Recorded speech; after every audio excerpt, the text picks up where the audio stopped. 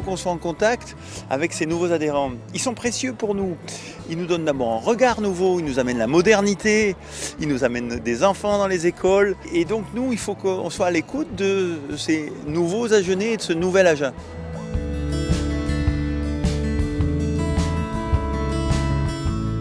On a trouvé euh, que c'était euh, chaleureux déjà de, convier les nouveaux agenais, c'est fédérateur. Et puis on peut euh, glaner beaucoup d'informations, que ce soit d'un point de vue pratique, mais aussi sportif, culturel. Voilà. Donc on est ravis.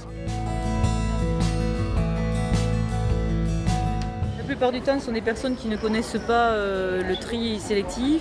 Où est-ce qu'il faut s'inscrire? Parce que certaines personnes, euh, dans certains secteurs, ont droit à une dotation de sac. donc, euh, je leur indique où est-ce qu'ils doivent aller, c'est-à-dire au centre technique de l'agglomération d'Agen. Je trouve que c'est une ville à, taille humaine. et ça, me change beaucoup parce qu'on était dans une, grande agglomération à Marseille. Donc là, je fais tout à pied, c'est très agréable. Déjà le secteur scolaire, les renseignements sur les écoles, c'est aussi les renseignements sur les temps périscolaires, comment occuper les enfants. Euh, sur les crèches, bah, c'est l'accueil en crèche, j'attends un bébé, quand est-ce que je peux mettre mon enfant en crèche? Et puis après, des informations sur les centres de loisirs, c'est important le mercredi ça crée du lien, puis bon, ce sont des gens nouveaux qu'on n'a pas eu peut-être déjà l'occasion de rencontrer.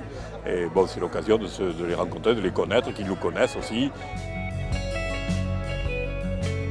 C'est vrai que ça permet quand même de découvrir euh, les associations euh, sur le lieu, sur la place de l'agglomération à Genèse, et euh, voilà, ainsi que tout ce qui tourne autour du bien vivre à Genève. Donc voilà, c'est quelque chose d'assez positif.